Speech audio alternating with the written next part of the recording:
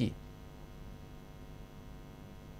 राजीव जी, आप ही की बात से शुरू करना चाहेंगे कि अगर ये सरकार ऐसे ही चलती रहे, अपने फैसले वापस लेती रहे, राहुल की सुनती रहे तो कोई खास प्रॉब्लम नहीं है।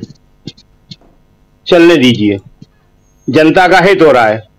अभी आपने तीन फैसले बताए जो वापस लिए एक और फैसला है, बहुत बड़ा, उसको भी वापस लिया था इन्होंने, कैपिटल गेन टैक्स का। बजट में लगाया था मिडिल क्लास के ऊपर, छोड़ा किसी को नहीं था, लेकिन जब मिडिल क्लास का विरोध हुआ तो उसको वापस लेना पड़ा। बहुत खतरनाक टैक्स था ये। जो प्रॉपर्टी पे इन्वेस्ट करता है मिडिल क्लास उसके पास कुछ ज़्यादा होता नहीं है, एक ले दे के किसी तरह कुछ प्रॉपर्टी बना लेता है वो तो उसको जब दोबारा अगर वो बेचने की सोचता है तो उस पर जो टैक्स देना पड़ रहा था, उसको वापस लेना पड़ा इन्हें। तो जिस शख्स का आप ज़िक्र कर रहे हैं, जो ये सामने बाइट दे रहा है, अभी आपने देखा कि उसने मीडिया से फिर कहा कि ड्रेल मत करिए। हद हो गई। सबको मालूम है कि राहुल वहाँ एक स्पेसिफिक इशू के लिए आए हुए हैं। मतलब वहाँ पे सामंतवाद का वो सारा इलाका तो हमारा बहुत घुमा हुआ है, देखा हुआ है। कई बार का मालूम है वहाँ क्या हाल है कि जिस लड़के की हत्या हुई है, उसके भाई जो है, वो कटिंग का काम करता है, बार्बर है, और वो छह या सात बार मुफ़्त में छह सात लोगों के बाल बना चुका है। मना भी नहीं कर सकता। पैसे नहीं दे रहा है, कोई उसको मालूम है कि इस बार भी नहीं देंगे। तो मना भी नहीं कर सकता, मना करेंगे तब भी मार डालेंगे। इतना बुरा हाल वहाँ पे है और इस अमेठी, रायबरेली, प्रतापगढ़, सुल्तानपुर, ये पूरे क्षेत्र में इसकी लड़ाई राहुल गांधी ने 2004 से ही लड़ी है, हमेशा लड़ी है। और इसीलिए जो है, अभी अमेठी की सीट वापस कांग्रेस से जीती और रायबरेली से वो खुद जीत के आए। जनता के बीच में एक बहुत बड़ा आतंक का माहौल वहाँ रहता है। अगर ये परिवार या राहुल गांधी वहाँ नहीं रहते हैं तो। जो पिछले पाँच साल में सबने देखा। न रायबरेली में, न अमेठी में, न प्रतापगढ़ में, न सुल्तानपुर में, कहीं पे भी जनता की, आम जनता की, गरीब की, दलित की, पिछड़े की कोई सुनवाई नहीं हो रही थी। ये जो इतनी सीटें जीत के अखिलेश वहाँ वापस आए हैं और आज एक बड़ा नाम बन गए हैं, उसकी वजह यही है। कि वहाँ पे सामंतवाद वहाँ पे दबंगी वहाँ पे दादागिरी बहुत बुरी हालत में रहती है। तो राहुल गांधी के अंदर हिम्मत है साहस है जो उसका मुकाबला करते हैं और वहाँ पे उसका वो जवाब देते हैं। अब थोड़ी सी बात हम इसकी कर लें जो सबसे बड़ा आज का मुद्दा है कि जो सरकार को वापस लेना पड़ा है। लेटरल ये देखिए हाँ तो ये देखिए कि ये जो है लेटरल एंट्री जो है, इसके ऊपर कल तक वो इस तरह बोल रहे थे कि ये नेहरू ने किया है। ये मनमोहन सिंह और मोन्टेंग सिंह अहुलवालिया इसके ज़रिए आए हैं। तो हमने आज कहा कि कल ये ये भी बोल सकते हैं कि अग्निवीर भी इन्होंने किया था। शॉर्ट सर्विस कमीशन जो है, वो तो पहले से चला आ रहा है। वो अफसरों का शॉर्ट सर्विस कमीशन था। ये सिपाहियों का शॉर्ट सर्विस कमीशन है।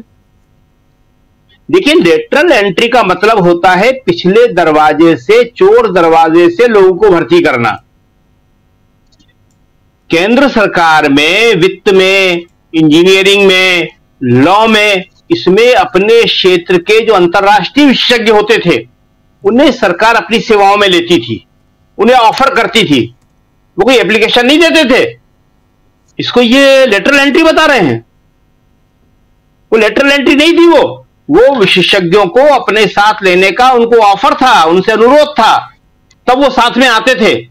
मनमोहन सिंह देश के प्रधानमंत्री बने, जिन मनमोहन सिंह को लिया गया था वित्त विभाग में। अभी ये जो तुम ले रहे हो, इनमें से कोई प्रधानमंत्री बनेगा देश का? ये जो तुम मिडिल रैंक में ले रहे हो, ये सारे के सारे जो भर्ती होते हैं मीडियोकर्स होते हैं। औसत दर्जे के एवरेज दर्जे के लोग होते हैं ये। अभी आप देखिए कि जो लेटरल एंट्री की जो इतनी बात हो रही है, इसके अंदर अभी एक भारतीय कृषि अनुसंधान परिषद में अभी तीन सौ अड़सठ पदों पर वैकेंसी निकाली गई है। वो वापस नहीं लिए अभी, क्योंकि उस पर चर्चा नहीं है ज़्यादा। और उसमें ऊपर मोटे मोटे अक्षरों में लिखते क्या है? All the vacancies are unreserved ये लिख देते हैं। लिखा हुआ है उस पर तीन सौ अड़सठ पदों पे है। और अभी तक 10 साल में सैकड़ों लोगों को भर्ती किया जा चुका है इसके ज़रिए। जी। ये सीधा का सीधा जो है जो मेरिट की इतनी बात करती है मेरिट के ऊपर डाका है। ये आईएएस आईपीएस सिविल सर्विसेज़ के लिए लड़के लड़कियाँ किस तरह मेहनत करते हैं ये सबको मालूम है। हिंदुस्तान की सबसे टॉप परीक्षा होती है ये। अभी जो है वहाँ पे देखा कि पानी भर गया और लड़के लड़कियाँ मर गए वहाँ पे। किस तरह रहते हैं, किस तरह अंडरग्राउंड लाइब्रेरियाँ बनी होती है बेसमेंट में, वहाँ जाके पढ़ते हैं वो लोग? कोई साधारण काम नहीं है। और आप उनको न लेके आप लेटरल एंट्री के ज़रिए अपने लोगों को भर्ती कर लेते हैं। तो राहुल गांधी ने ये जो सवाल उठाया था, पहले दिल से ये उसी का असर हुआ। और ये उसका असर हुआ कि इस सवाल को उठाने से पहले राहुल गांधी ने जो 240 पर रोक दिया था। अगर ये 240 पर नहीं रोका जाता तो ये नहीं होता। और इसीलिए आज जो है चिराग पासवान हो या चाहे जेडीयू के त्यागी जी हो इन सबको आवाज़ उठाने का मौका मिल रहा है। मज़ा लेने का मौका मिल रहा है। मोदी जी पर दबाव बनाने का मौका मिल रहा है। जितन राम मांझी हो वो दबाव बना रहे हैं वो बनाएँगे वो तो। और ये एक चीज़ नहीं है। वो हम जो बात कह रहे हैं कि जो आप बता रहे थे कि ये ऐसे ही अगर सरकार चलाते रहे तो ठीक है। चलाते रहिए आप, कितने दिन चलाते हैं ऐसे सरकार? फैसला लीजिए, वापस लीजिए, और जो भी हो जनता को फ़ायदा दीजिए। काशीराम जी कहते थे ना कि हिली डुली सरकार जो होती है, वो गरीब के मतलब की होती है। पूर्ण बहुमत की सरकार जो होती है, वो दलित के खिलाफ होती है। मायावती जी समझे इस बात को? अपना समर्थन वापस लें, जो अप्रत्यक्ष समर्थन दे रखा है उन्होंने। ये सबसे बड़ी चोट तो दलितों पे हो रही है। और मायावती जी क्या कर रही हैं अभी? थोड़ा बहुत बोल बाल के अपने, ताकि वोटर इधर उधर न जाए, चुप बैठी रहती हैं। वो कल निकले सड़क पे। कल जो है, सुप्रीम कोर्ट का जो फैसला आया है, क्रीमी लेयर का, और जो वर्गीकरण उसने किया है, उसके खिलाफ जो लोग कल भारत बंद का जिन्होंने नारा दिया है मायावती जी ने उसका समर्थन किया है। जी। समर्थन किया देखते हैं मायावती सड़क पे आती है कि नहीं आती है। क्या होता है? और हम एक बात बता दें आपको कि इससे पहले भी ऐसे ही हुआ था। कुछ साल पहले आपको याद होगा, डॉक्टर राकेश पाठक बैठे हुए हैं, ग्वालियर में भी गोली चली थी और कई लोग मारे गए थे। इसको केंद्र सरकार को समय रहते भी रोकना चाहिए इसको। आज हम देख रहे थे कि दूसरी तरफ़ से भी बहुत उत्तेजक बातें की जा रही हैं कि अगर ये नीले लोग निकलेंगे तो ऐसा करेंगे। ये कोई अच्छी बात नहीं हो रही है ये। देश में जिस तरह तनाव बढ़ाया जा रहा है जिस तरह नफरत का माहौल बढ़ा दिया गया है पिछली बार दलितों का ही बंद था भारत बंद और उसमें कई लोग मारे गए थे। जी। ये कोई अच्छी बात नहीं है जो होने जा रही है इस तरह से बंद किया जा रहा है और बंद का विरोध किया जा रहा है।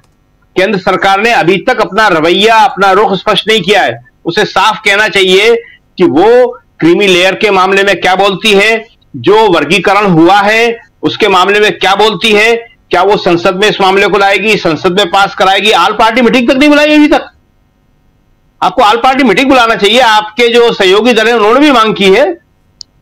देश का इतना बड़ा वर्ग जो है, वो समझ नहीं पा रहा है कि क्या होगा। उसके अंदर आपने टुकड़े कर दिए हैं, उसका विभाजन कर दिया है। हिंदू, मुसलमान करते करते आपने दलितों के ओबीसी का, आदिवासियों का, सबके बीच आपने विभाजन के बीज बो दिए हैं। ये देश के लिए अच्छी बात नहीं है।